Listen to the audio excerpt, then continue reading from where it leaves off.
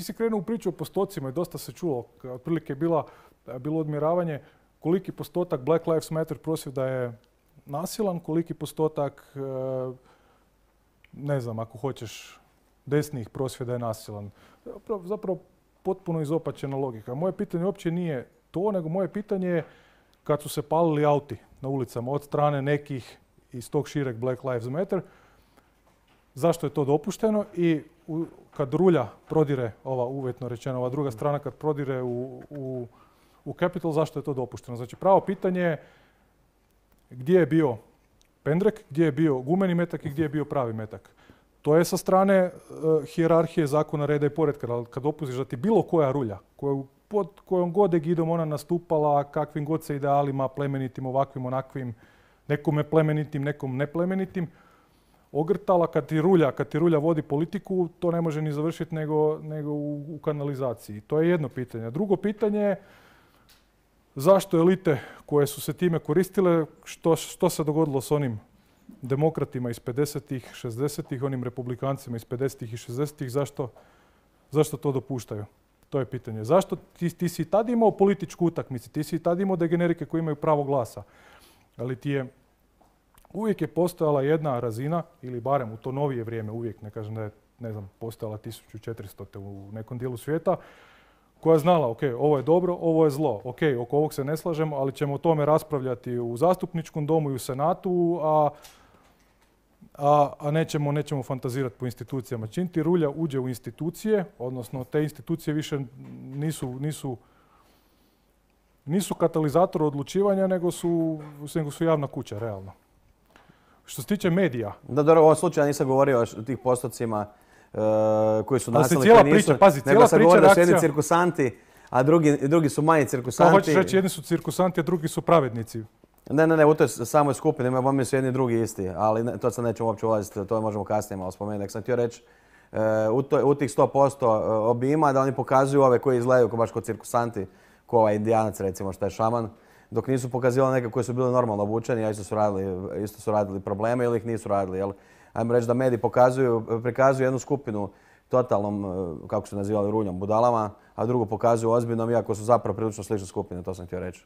A sad koliki je postotak radi nasilja, ne znam. Pošto, mislim, meni je, meni je rad s medijima posao i uvijek ovaj nulti savjet koji, koji klijentu dam, nitko nikad u ratu s medijima pobjedio nije. Ti imaš svoje vrijednosti, imaš svoju priču. Ako si siguran u nju, ako si kvalitetan, ti ćeš nju, ti ćeš istrajavati, ti možeš pobijediti na itekako neprijateljskom mediju ako znaš što radiš.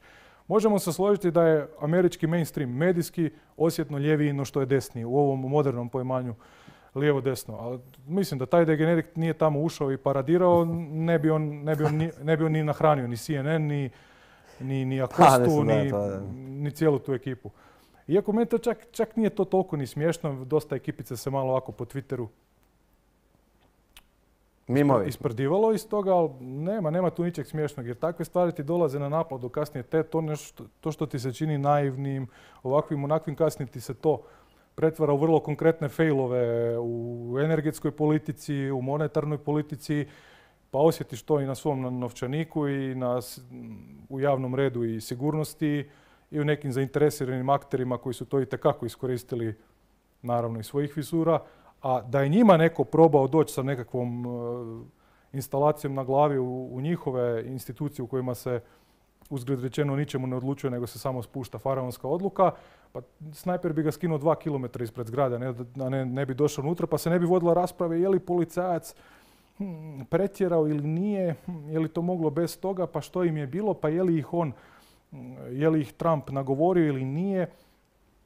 Tu, tu, tu ga baš ono, A gdje su nestali ti sad u, u jednom drugom slučaju ti famozni snajperi, varenje ovih e, šahtova i slično. Pa konkretno, evo, pričamo, o čemu pričamo? O BLM-u ili o Pa možemo jedno i drugo spomenuti. Pa ovako, što se tiče policije, e, kad je, kad je, kad to sa BLM-om bilo na vrhuncu, oni su vjerojatno pod utjecajem, ne vjerojatno, nego pod utjecajem onog, e, onog incidenta sa Georgeom Floydom, vrlo, vrlo pažljivo, pa čak i prebenigno postupali u smislu ne štiteći do kraja javni red i sigurnost da ih ne bi neko optužio za fašizam, Da. za policijsko nasilje. A što se tiče ovih, ti zapravo imaš jako, jako mali broj policajaca u tom trenutku na Capitolu. Nema nacionalne garde jer je Trump trebao aktivirati, a kasnije je aktivirao Pence u komunikaciji s Pentagonom mm, kad je, kad je e, shvatio da je vrag odnio šalu. On je ono njih nutno, e, e, realno ga baš briga što, bilo ga je baš briga što će oni napraviti. U, u tome je stvar. Nije ih imao ko u biti, ajde kad smo već krenuli tom terminologijom snajper, nije ih imao ko ni skinut.